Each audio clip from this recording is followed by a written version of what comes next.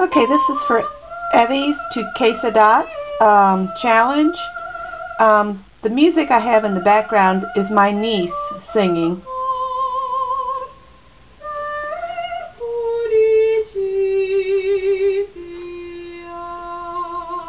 She recently moved to um, Washington State, so she's clear across the country and I miss her greatly. But I have her, she has a couple little CDs that she did when she was a teenager, and then this was just in 2009. Um, just thought I'd share. Um, this first ATC is my first attempt at one, and Evy, you're not getting this one because the cat didn't turn out.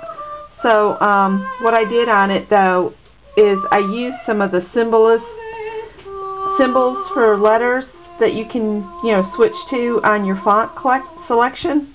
And this says Mystical Feline. And I just thought it looked really kind of cool. But I'll be keeping that one. And I tried again. Um, here's the one that I will be sending to Evy.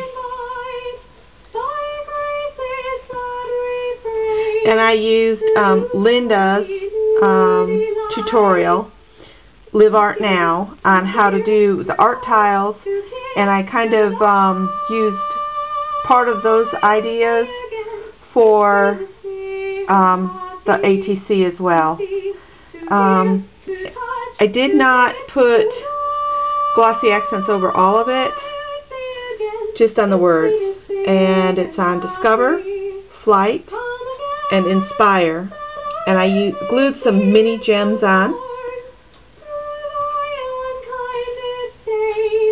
And I've called this one uh, Flights of Fancy. So there's the ATC.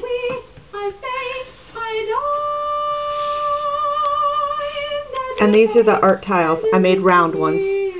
Um, the only thing I did not like is my ink ran, ran a little bit so you can't really read. That says flight, inspire, and discover. And there's butterflies on them. Um, if you want to know how I made them, I followed Linda's um, steps exactly on her video for art tiles. So that's Live Art Now, and it's her art tiles um, tutorial. So, Evy, that's what I'll be sending you. Sorry, the lighting's a little off. It's gotten later in the day than I had anticipated.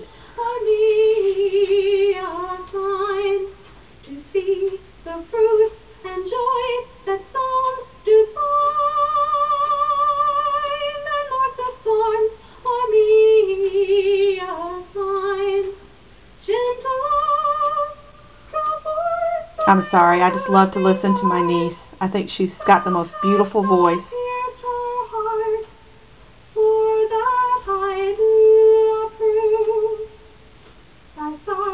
and tears more hot than all.